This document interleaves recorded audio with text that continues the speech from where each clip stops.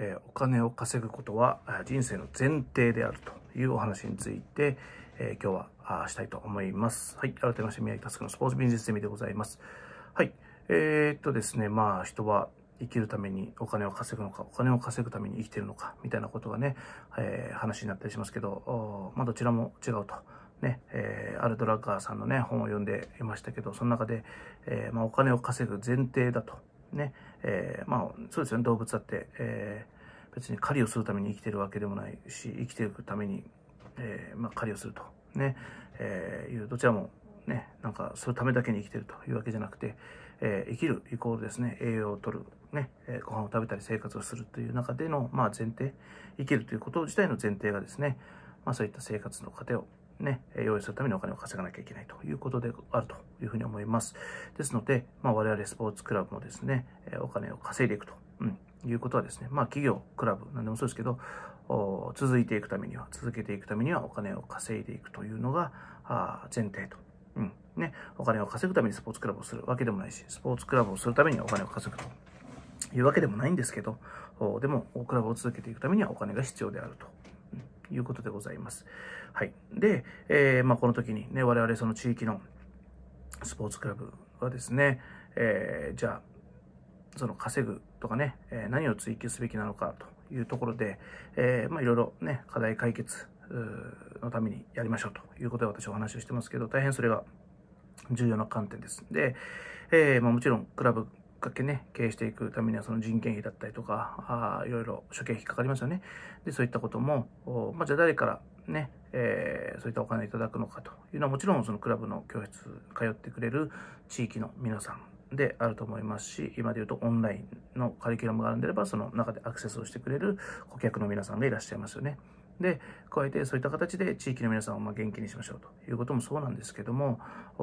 ね、本来であればですね、まあ、地域住民サービスとしてですね、行政さんが取り組むべき仕事であったことを、まあ、代わりになかなか行政さんの今のシステム、仕組み、人材ではできないところをですね、自分のところのクラブでやりますよということで、えー、行政さんからその本来向こうがやる側のやる仕事だったものを請け負うことによって、えー、その分の対価をいただくというようなことというのがあるわけですよね。わかりますよね。うん。はい。で、えー、なので、えー、なんだろう、地域課題解決するためとかね、地域のためっていうことはもちろんね、あるんでしょうけれども、だから、じゃあ、あの、地域のためなんだからボランティアでやりなさいよと、無償でやりなさいよと、ね、えー、あなたはお金はお金で別で稼いできて、ね、えー、やりなさいと。ね、もちろんまあ、それでもいいんですけど、その場合だと、本当にじゃあ、今、地域が抱えている課題なんか解決できますかと。そのじゃあ、ボランティアで1日数分、数時間、1時間ぐらいのことで、えー、できるんですかと。ね、いうところです。じゃあ逆に言うと、じゃあその行政の皆さん、ね、えー、その地域課題の解決だったり住民サービスをやるために、えー、お給料をもらって、えー、普段生活をしているにもかかわらず、なんで、ね、その課題が解決できないんですかと。ね、それは別に決して彼らを責めてるわけじゃなくて、ね、やはり専門分野ではないということですよね。うん、なので、いろいろ地域課題ね、そのお金の割り振りを決めて、いろんな課題に対してこれぐらいのボリュームで予算をつけた方がいいんじゃないかという意思決定をするのが行政の皆さんであると。でその中で専門分野である我々クラブがですね、それをこういった形で表現をすると、この課題解決になりますと、この問題解決になりますと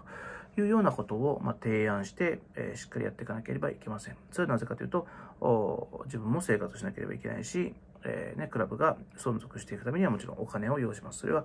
えー、ね、そういう生活をしていくスタッフをちゃんと生活させなきゃいけないですし、クラブの必要最低限のお金ももちろんかかります。はい。ね。で、えー、じゃあクラブがね、大きく、ね、予算が例えば余ったにしても、じゃあこれをどうするかっていうと、クラブの機能として、ね、じゃあ代表者ががっぽりがっぽりね、私服を肥やすというような形にはなってないはずなんですよね。特に一般社団法人とか NPO で、えクラブを作られる方なんかはですね、利益の分配ということはできませんので、基本的にはそういった形で利益が出たら、それはさらにこの、えー、課題としている事業に対して再投資をすると、ね、いうふうにお金が使われますので、ね、もちろんその中でより良いスタッフがね、雇用できるようにスタッフの人件費を上げるっていうのもそうだと思います。ね、スタッフがもっと安心してがっつり働けるようにね、えー、福利厚生を充実させる。それももちろん一つです。ね。それもじゃあなんでやるかっていうと、それをその地域住民のサービスと地域課題解決のためにより良くしていくための再投資ですよね。うん。で、そう考えたら、クラブがお金をいただく、稼いでいくというのは、ね、えー、いけないことではありません。ね、えー、大前提なんですよね。それどんどんどんどんそういった方で地域課題をしていく。ね、そういった人たちがあ安心して取り組めるような、ね、え組織を作っていくというのがあクラブ作りの大前提になってきますので、そういった部分でそのお金をなんか取っちゃいけないんじゃないかみたいなメンタルブロックをですね、早めに皆さんがこう外していただくといいと思います。はい。ということで、えー、今日は以上となります。ありがとうございました。